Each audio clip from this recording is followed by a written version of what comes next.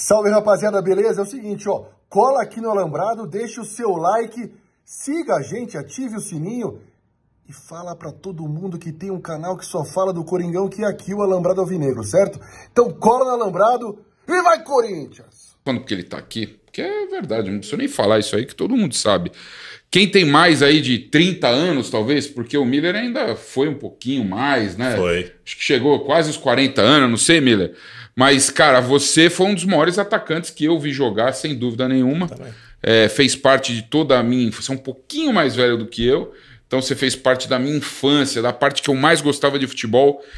E você fez história no São Paulo, é, no Palmeiras, mas foi um dos caras. No Santos também foi um dos caras que jogou nos quatro grandes, né, velho? Boa noite, obrigado por estar aqui. Você que é um grande amigo. Boa noite, Cascão, De Paula, amigos aí do Alambrado. É, sem dúvida nenhuma, uh, é, jogar naquela época que eu comecei, nos anos, começo dos anos 80, né, nas bases do São, na, na categoria de base do São Paulo, é, já na, nas categorias de base tinha muita muita, a safra era rica, né? Tinha muita abundância de grandes jogadores. Aí, pra você ter uma ideia, eu, eu era o quinto reserva no, na base do São Paulo, né? E os quatro na minha frente era tudo seleção brasileira, dizer, então acho que a, a, concorrência foi muito grande, né? E em, em todos os momentos da minha carreira, na base do São Paulo, no São Paulo, no começo de carreira, na seleção brasileira, eu tinha que competir com só com jogadores assim muito, muito acima da média. Então, Naquele, na, na, na, minha época, eu, eu, fui obrigado a jogar em alto nível. Era, obri, era obrigado a jogar em alto nível, porque senão você não jogava. Ô, Mira, você que é. Você é nascido em Campo Grande, é isso? Mato Grosso do Sul. E você teve um início, um, um início difícil, né? De, para até se tornar atleta. Assim, eu, eu, eu tava vendo uma história, você contando, uma história é, do seu início de carreira. Como é que foi lá em Campo Grande para você ter esse essa possibilidade de virar o jogador de futebol, que a gente sabe de toda a dificuldade, enfim.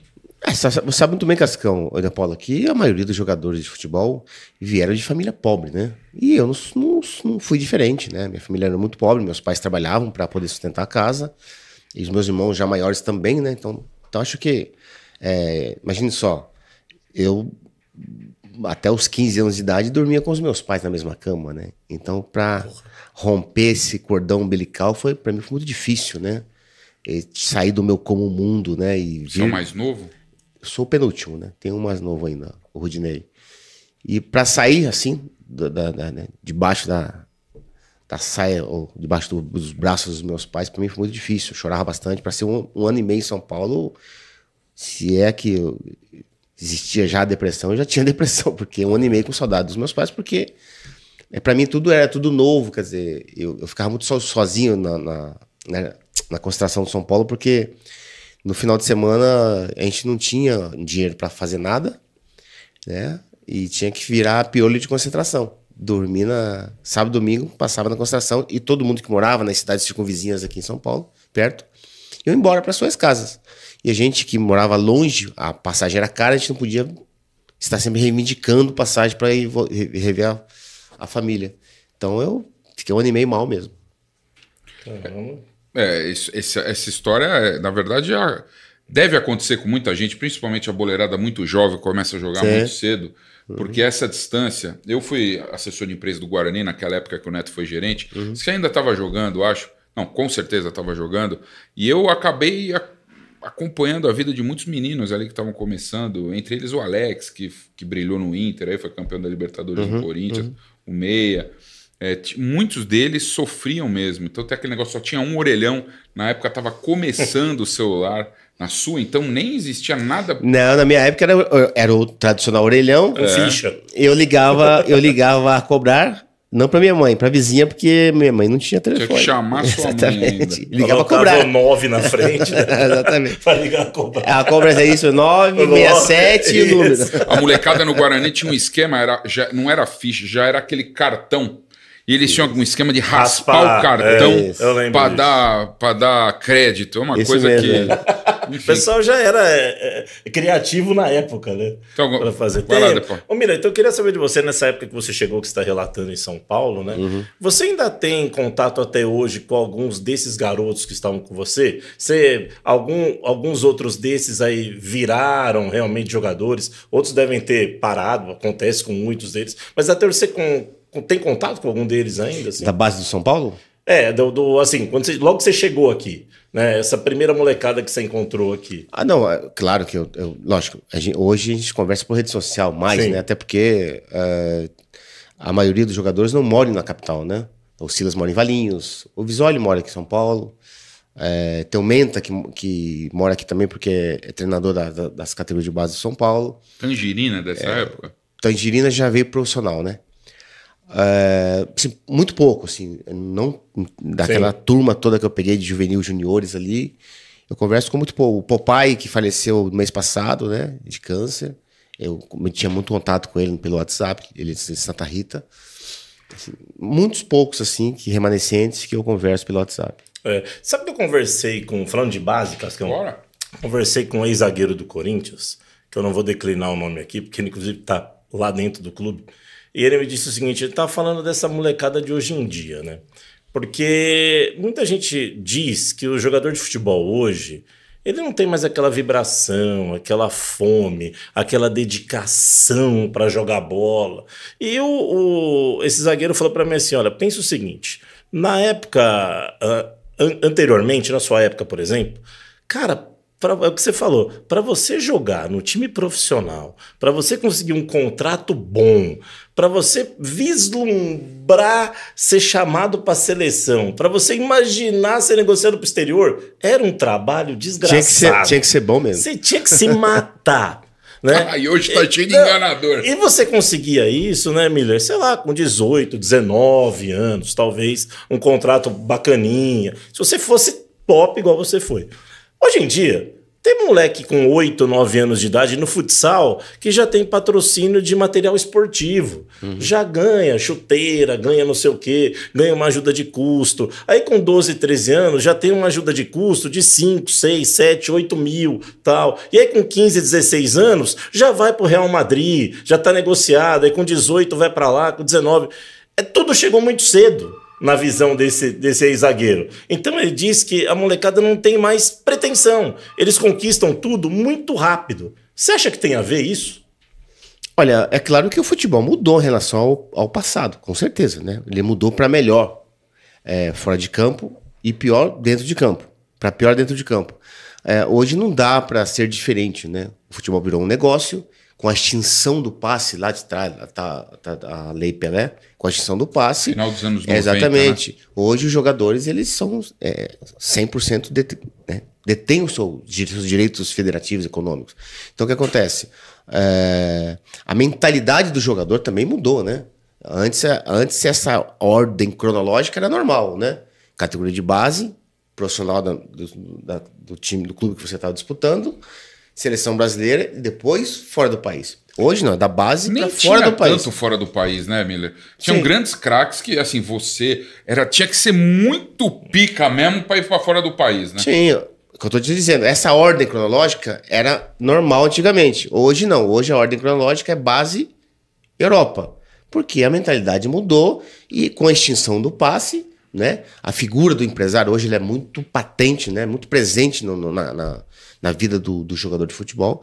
Então, eu, eu não recrimino. Eu acho, para mim, eu acho normal. O futebol mudou totalmente, né? E, e hoje o jogador tem esse pensamento, né? Essa linha de raciocínio. É claro que tem raríssimas ou algumas exceções que você pega desde os 12 anos de idade, investe no jogador, ele se torna um grande jogador. Já aconteceu com o Neymar, com o Gabigol, né? No Santos. né? Ele chegou lá bem, bem molecote mesmo. Quer dizer, então, quando você vê um jogador assim, né? Gabriel Jesus, dá para investir? Beleza, né? Mas nem todos dá para você fazer esse investimento. E sem falsa modéstia, hoje, se fosse hoje, com tudo isso aí que tem, esses empresários aí que tem, que são é um monopólio, né, do- dos empresários, o, o menininho, o Luiz Antônio Miller lá, pequenininho lá, surgindo hoje, como é que seria hoje? Como é que você, você já parou para pensar como é que seria assim? Você que era um, um- foguete na base, você já teria sido vendido faz tempo para o exterior também?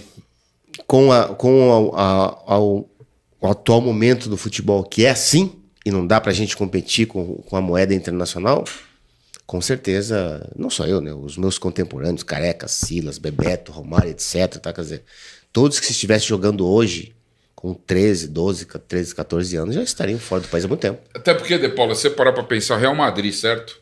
Tem lá o Rodrigo e o Vinícius Júnior. Careca Miller não é um milhão de vezes? Não, não, pelo amor de Deus. Não, peraí. Aí, aí você tá, né, Cascão? Você, o patamar, se a prateleira é. é olha, outro, olha, mas né? sabe, sabe que eu, eu, eu, sempre falo isso, eu falo até na televisão isso, né? E eu não posso, né? A mudança geográfica não pode mudar meu pensamento, né? Lógico. Eu acho que, o Cascão, a gente não pode comparar. É comparar com Fardia, não dá. Como é que você vai comparar algum jogador de hoje com o Zico? Como é que você vai se comparar algum jogador de hoje com o Romário?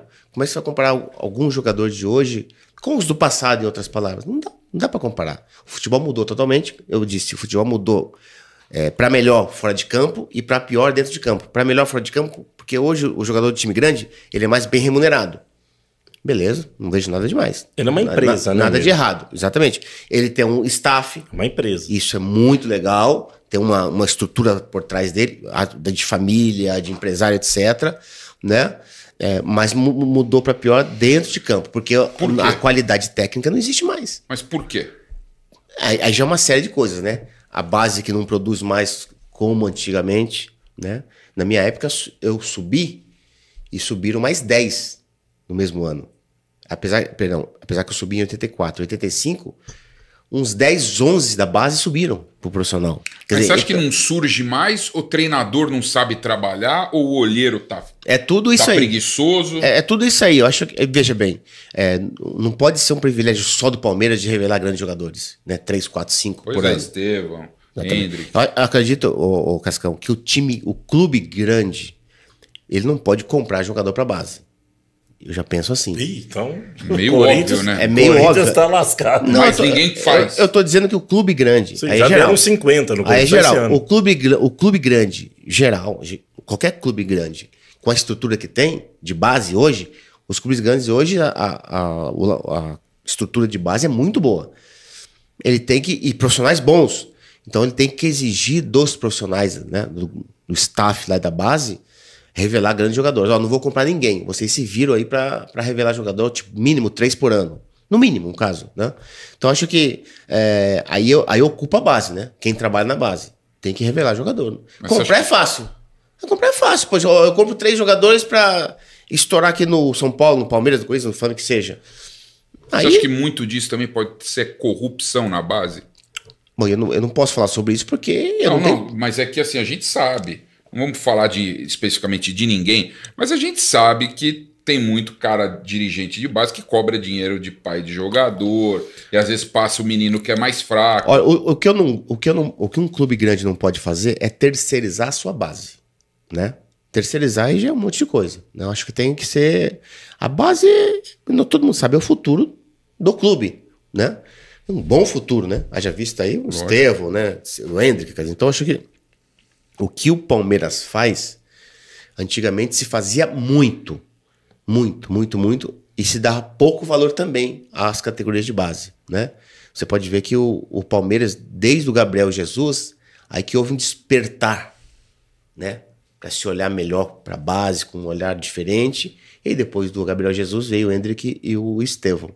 Corinthians, Flamengo. Flamengo, puxa vida, o Flamengo do ano retrasado passado, ele, ele, ele fez mais de 300 milhões só em venda de jogador da base. Isso é, isso é mérito do Flamengo, eu acho legal Lógico. isso. Eu acho, então, eu acho que é, o clube grande não, não, se, não se terceiriza a base. Investe na base para poder colher seus frutos. A, a Luísa Copietiers fala, lembra, fala assim: antigamente, nessa nossa época aí, a depressão era melancolia. ah, esse menininho tá melancólico. Você sabe, Miller, que